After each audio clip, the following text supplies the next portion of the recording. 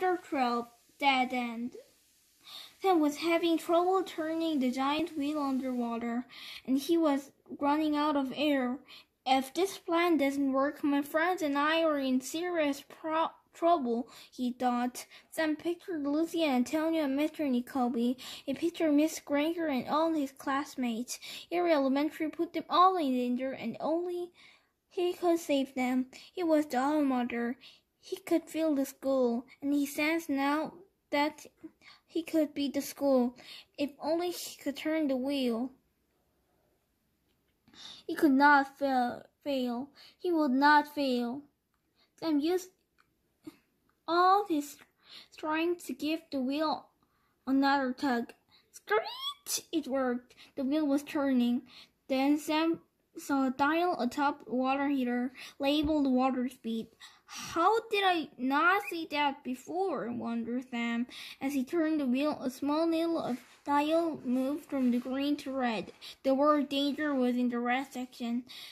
Sam pressed his feet against the water heater and turned the wheel until the dial's needle was past the word danger. The water heater began to shaking.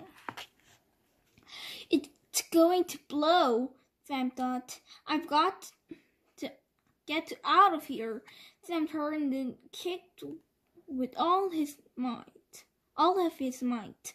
He burst through the, the surface and gasped for breath. Antonio and Lucy were inside the pipe, waiting for him. Water rushed faster and faster to the pipes. All around Sam, the water was bubbling and splashing. The water heater shook. Sam, what did you do? Antonio yelled. I'm getting us out of here. We'll travel through the pipe, Sam said. I hope this works, Lucy said, sticking out a hand. Sam grabbed a hold and Lucy pulled him up.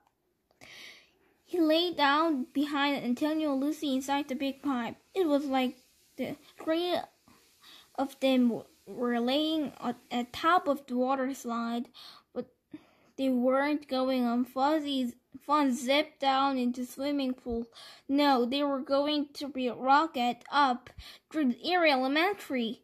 Where will this pipe spit it out? Lucy asked. Sam didn't answer. He had no idea where this pipe would take them. He just hoped it was somewhere above ground. The pipe started really shaking.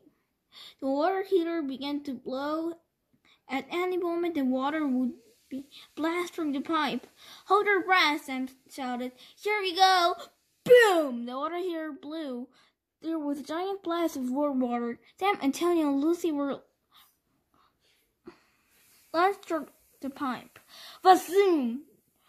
The three friends raced through the pipe at 100 miles per hour, a wave of water. Up ahead, the pipe split into two. He shouted, Sam! As the pipe split, Lucy was carried off in one direction, and Sam and Antonio went another. Sam held his breath as he jumped through the pipe. Up ahead, the pipe sl- split into two again. The water carried Antonio to the right. Sam tried to follow him, but it was too late. Sam whizzed down a different pipe. Now Sam Graves were all alone, flying through the Eerie Elementary. Sam saw darkness at the end of the pipe. Oh no.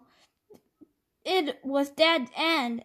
Sam had slowed down where he was smashed into into the end of the pipe. He reached out on it, scraped his fingers against the pipe, but it was no use. He couldn't stop. He couldn't slow down.